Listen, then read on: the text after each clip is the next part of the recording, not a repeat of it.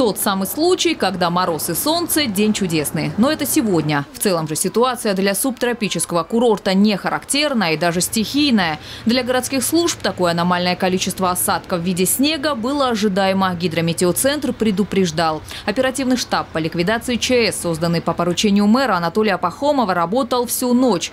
Всю ночь расчисткой снега занимались и комплексные дорожные машины. Дождался своего часа и снегоуборочный парк курорта. Эти так называемые грейдеры по улицам колесили без перерыва. Это конкретный экстремал. Видите сами, что творится? Вот, вот это всю ночь и весь день. Сегодня работаем. Не спали. Ну как спать? Как спать, если чуть что творится на дороге? Вот и стараемся, чтобы вот это все хорошо было. Только даже горожане этого не понимают, что тут стараемся. Для них же стараемся, дорогу чистим. Глубина снежного покрова местами достигла 35 сантиметров. Справиться с результатом ночного снегопада оперативно коммунальщикам не удалось, хоть и работали все в усиленном режиме. Зима по-русски для Сочи – редкое природное явление. Правда, подобное в центре курорта уже было, но лет 35 назад. В итоге, чтобы вернуть город к привычной жизни, в каждом районе курорта работали десятки единиц спецтехники, в том числе краевой.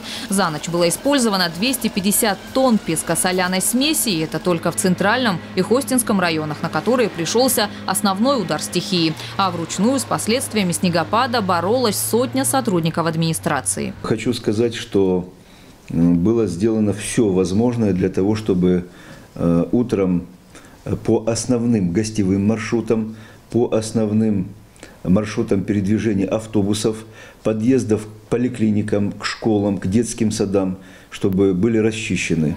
Э, сказать, что мы сделали все, что нужно, невозможно сказать, потому что на самом деле это стихия. Был огромный залповый выброс. Мы намерены в течение светового дня расчистить все тротуары и проезжие части. Сегодня сбои в работе были сразу у нескольких служб. Не добрались до ожидающих помощи пациентов порядка двух десятков карет скорой. Практически столько же автобусов сегодня утром не вышли на линию. Добраться до работы с утра и вправду было сложно, но сочинцы к коррективам, которые внесла погода, отнеслись с пониманием. Мы вынуждены были идти полтора километра пешком. И таким образом на обыч... вместо обычных получаса мы потратили на дорогу два часа. Автобус был, но он идет только до низу, а наверх он не, не смог подняться. Все хорошо, все нормально. Погода нормальная. Мы не ощутили ничего неудобств никаких. Ну, классно. Во-первых, прогулялись по прекрасной погоде. И от транспорта не было задержек. По расписанию автобусы заработали к обеду. Сбои в работе общественного транспорта есть. Это э, вынуждено, потому что, к сожалению, э, при таком обильном выпадении осадков э, даже э, наша спецтехника не может добраться на высокогорные участки. Сегодня в течение дня вся та техника, о которой я говорил, продолжает работать. Э, имеются в необходимом количестве все запасы пескосоляной смеси, поэтому мы надеемся до конца этого светового дня – расчистить все высокогорные участки, которые, по которым, естественно, труднее всего передвигаться. Мы э, примем все возможные и доступные для нас средства для того, чтобы город жил комфортно. Также локальные технарушения устраняют сочинские электросети. Часть потребителей запитана по резерву. Завершение работ планируется в течение дня. Во избежание ДТП движение транспорта было ограничено по федеральной трассе, но все же без аварий не обошлось. Обстановка на дорогах остается сложной. Только за прошедшие сутки зарегистрировано более 80 дорожно-транспортных происшествий. Все они неотчетные. А основная причина аварии – это несоблюдение скоростного режима, несоблюдение дистанции и отсутствие зимней резины. Поэтому в настоящее время госавтоинспекция города работает в усиленном режиме. Мы просим всех э, жителей и гостей города воздержаться от поездок на личном автотранспорте и воспользоваться общественным.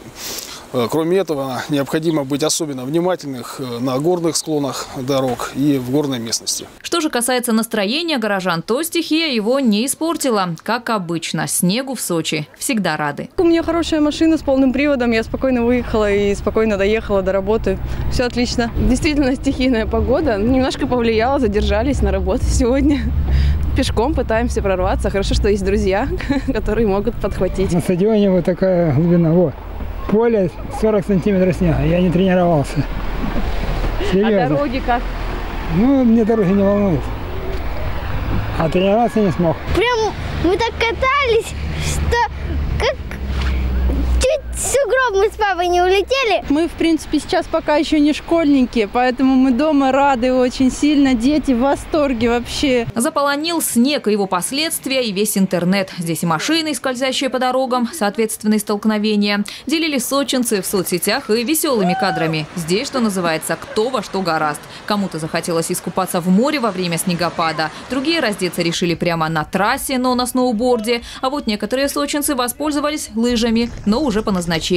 Добирались на них домой. Ну а снегоходы накануне тоже пошли в ход. В итоге стихия оказалась однодневной. Уже завтра погода резко пойдет в плюс. Инга Габеша, Демид Даниловский, телекомпания «ФКТ».